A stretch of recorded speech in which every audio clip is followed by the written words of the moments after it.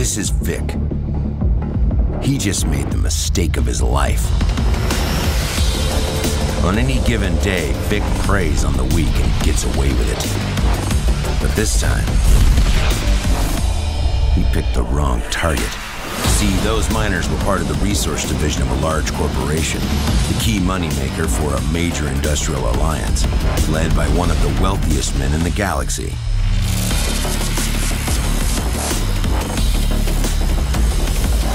With a bounty that high, he has to run. Because everybody with a trigger finger and a taste for cash will be coming after him. Some he can fight off. Others he can outmaneuver. But today, Vic is about to get caught by the most savage hunter of them all.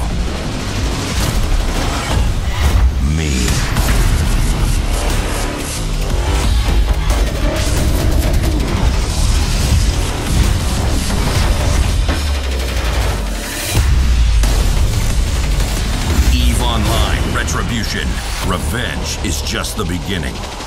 Try for free at trial.eveonline.com.